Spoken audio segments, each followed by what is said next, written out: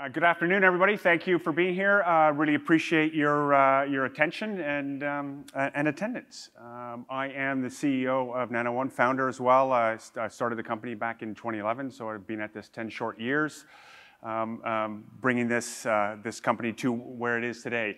Um, we uh, have heard a lot about uh, securing our energy future, and I'm going to walk you through our premise on, on how we plan to do that. Uh, we are a public company listed on the TSX in, um, uh, in Canada.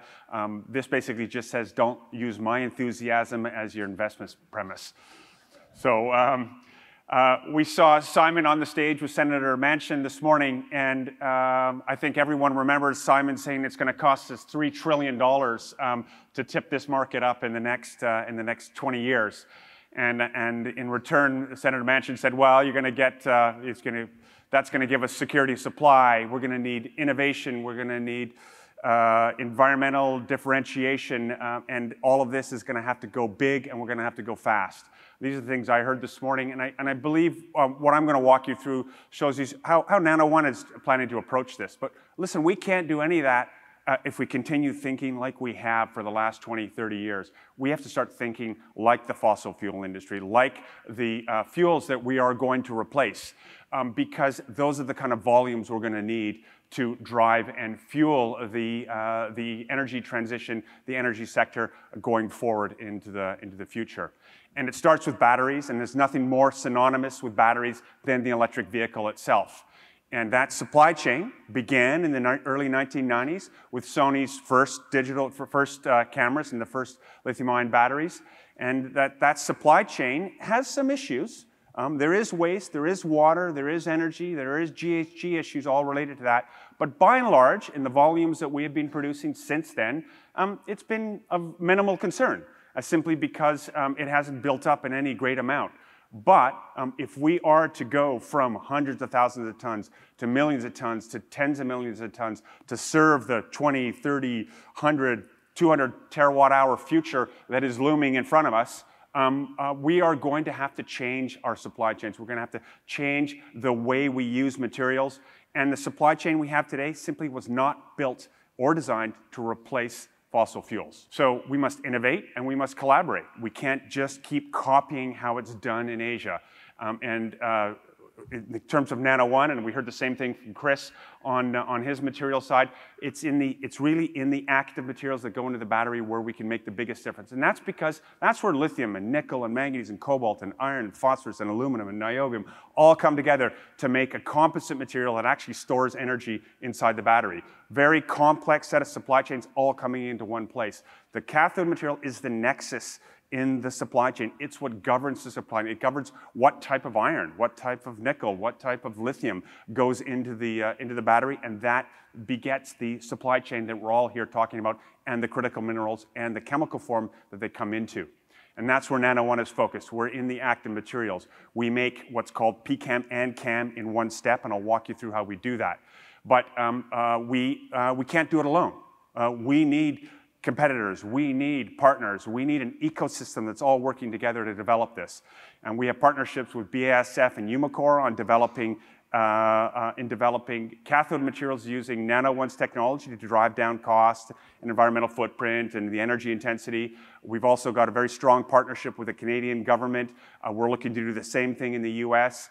Uh, obviously, the Inflation Reduction Act and what Senator Manchin presented this morning has gone a long way to sort of driving and catalyzing that uh, forward.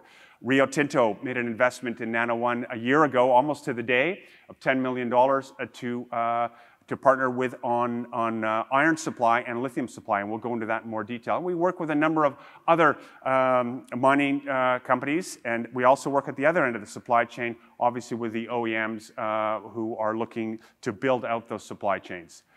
Um, but look, it doesn't, um, uh, the, the, rubber meets the road here uh, uh, at the plant level, at production level. Uh, last year, we acquired uh, Johnson Matthey Battery Materials Canada, their, their, their, their, division in Canada, and that is an LFP production facility located just outside of Montreal. Uh, it's a nine acre piece of land. it came with a, a very experienced team of about 45 to 50 people. These are people that have been manufacturing lithium iron phosphate for 10 years. It is probably the most experienced production team in North America today. Um, that plant itself is, by any standard, very, very small, but it will become a pilot facility for us. And it has been operating for 10 years. It's, it's automotive approved. It's got, a, it's got 500 years of production experience and the people that come with it. Uh, we believe it will give us a tremendous advantage uh, uh, and a tremendous leg up to really accelerate the adoption of lithium iron phosphate. That plant, um, uh, when we adopted it, we, uh, we turned it all off and we are currently retrofitting it with our one pot process to produce LFP. It will be back up in pilot production in Q3 of this year. So it's all coming together very, very quickly. We'll use it for trials, piloting, We'll be, taking, we'll be building our offtakes from that. Those offtakes will then lead to the scale up of a, of a future plant uh, in the in adjacent piece of land and a much bigger expansion plan in central Canada, in the US, uh, in the Indo-Pacific region, and the, uh, and the uh, EU as well. So why are we bothering to change something that's already working? Um, obviously, there's lots of cathode materials being made today, and we're sticking them in batteries between wheels every day. But why are we bothering to change it? And that's because the supply chain is long and complex. I'm not going to walk you through this in gory detail, but uh, the reality is that um, uh, these materials go through a whole series of different steps. There are uh, various repercussions from those steps. And then when you go to recycle the material, it all goes back through the same, same amount of steps. It's long, it's complex, it's wasteful, and it's reliant, heavily reliant on China, as we've heard, and on a very uncertain supply chain. So how do we wean ourselves off of that? Well, listen, it starts, first of all, with the types of materials that are put into the lithium-ion batteries. So, uh, um, and, and this is at the PCAM level. This is where nickel, manganese, and cobalt are combined. Uh, the issue is that they all come in the form of sulfates. Those sulfates come out as a waste stream. And if we get to 300 terawatt hours in 2050, it's a half a billion tons of cathode material uh, will have been produced by then, and we will have made somewhere between one and two billion tons of sodium sulfate byproduct, which has no offtake. Um, uh, it's very expensive to recycle it, and disposal is not an option. What are we going to do with it? It's a, it's, a, it's a big challenge, and we believe um, it's going to be one of the fundamental uh, hurdles for us to adopt uh, these kinds of materials going forward into the future. Um, the second hurdle, uh, actually before I get to that, lithium iron phosphate is also uh, very much um, saddled with problems with this. Uh, China right now makes 99% of the world's LFP. Uh, iron sulfate is their main feedstock. It's a waste stream from a titanium oxide production process, and they're the only ones that have uh, uh, that produce titanium oxide in that way. So therefore, they're the only ones with iron sulfate. Um, are we going to be importing iron sulfate from China? If we happen to do that, we will be in a position where China has a tremendous amount of leverage over the LFP supply chain in, uh, in North America. So uh, again, a, a, very big challenge.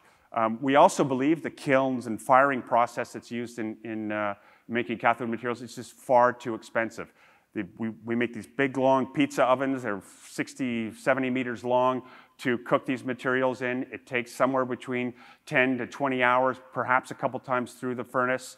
Um, and you're heating these materials up over and over again. You're heating up the containers that are in them over and over again. There's a tremendous amount of energy uh, inefficiency in these processes. And the physical footprint of these, of these uh, uh, these furnaces is, is huge. Uh, would take about 35 football fields worth of uh, uh, roller hearth kilns to drive the capacity you would need to fill a gigaplant in, uh, uh, for, an, for an automotive OEM.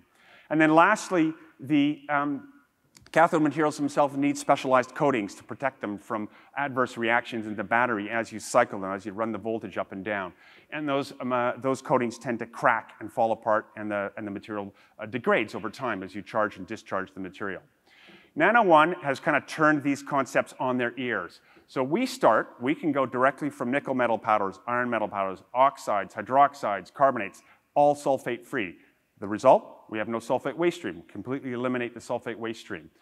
Um, for an LFP point of view, by being able to go from iron oxide with our partnership with Rio Tinto, we can go directly from a metallurgically produced iron metal powder um, that's done under a hydroelectric regime with zero waste stream, going from iron all the way through to LFP, and completely under a hydroelectric um, uh, environment. We believe it will be the cleanest, greenest, and uh, fastest path to an IRA compatible supply chain um, uh, in, in the world today. Um, the, uh, on the firing side, because we mix lithium in uh, with the uh, iron and with the nickel in the original process, we are actually able to fire it much quicker in the furnace. Uh, we are firing it hours instead of days.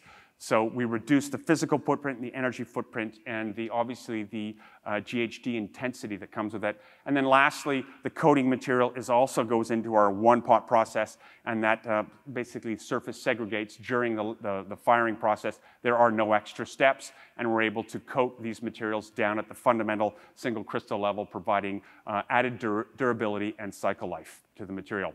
Um, it is going, to, we, we, believe that LFP will be one of the, we're working on NMC and, and high manganese materials, but LFP we believe will be the fastest, cleanest, greenest, and lowest cost path to 100% uh, uh, IRA compatible North American cathode uh, materials supply chain.